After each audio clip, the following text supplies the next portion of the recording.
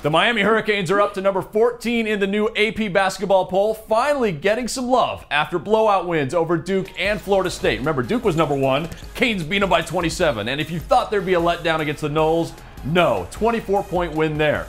So we're asking you on Twitter, do you agree with where Miami is ranked right now? It's like Goldilocks, too high, too low, or just right?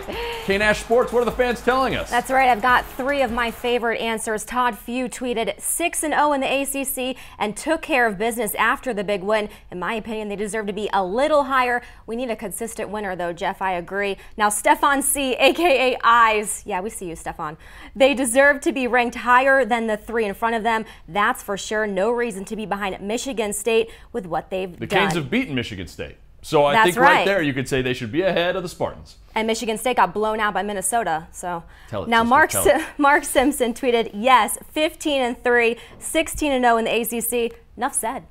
They're that good. They're that good. Remember, in football, the polls matter. Bigs They help that good. determine who plays in the championship game. In basketball, they have no bearing on the tournament, and that's a good thing, I think, because the Canes have revealed the AP poll voters are like me in that advanced chemistry class I took. Oh, it boy. confirmed my future was as a journalist. Likewise. Voters are flunking this test. Miami is number three in RPI. They still deserve even more respect. Another Miami team that's trending, the Heat. They were at the White House being honored by President Obama for winning the NBA title. A lot of sports fans are reacting to an interview the president gave in New Republic. He says if he had a son, he's not sure he'd let him play football and that the game might need to change to protect player safety, even if it means it's not as fun to watch. Now, Kelly, I don't think everyone agrees with this.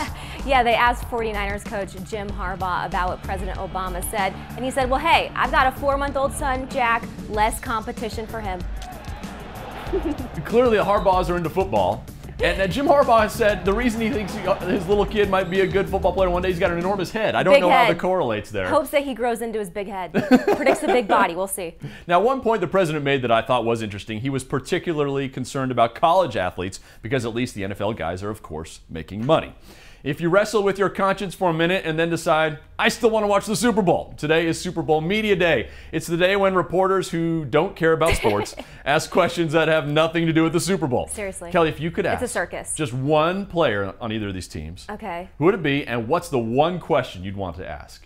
Colin Kaepernick, puppies or kittens? Puppies or kittens? That's it. You get fluff on that day. You It's do insanity. And nothing's fluffier than puppies or kittens.